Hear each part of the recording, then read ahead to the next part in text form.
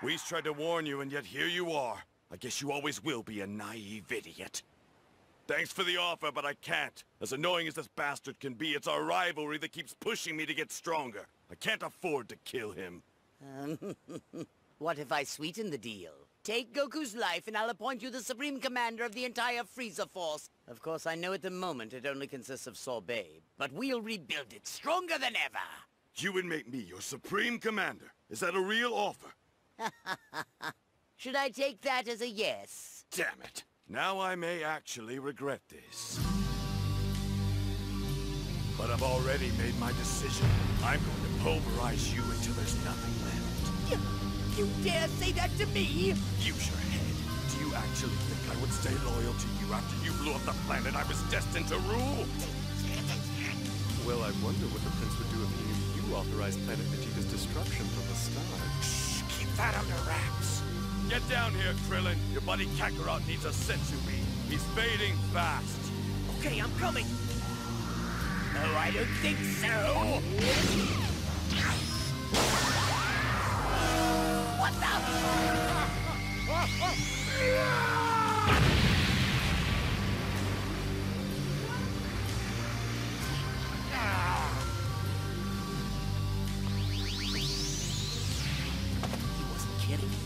Bad shape.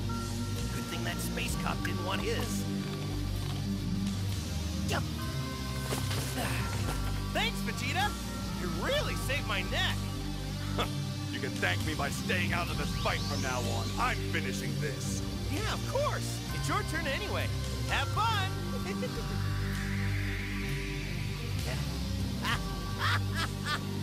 Please, if you believe you can defeat me, then you're more delusional than ever!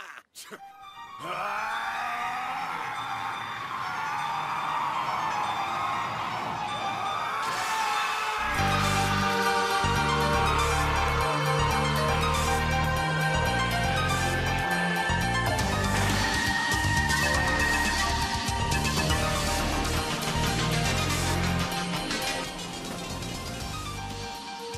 right. You had no idea, did you? I've been a Super Saiyan for years.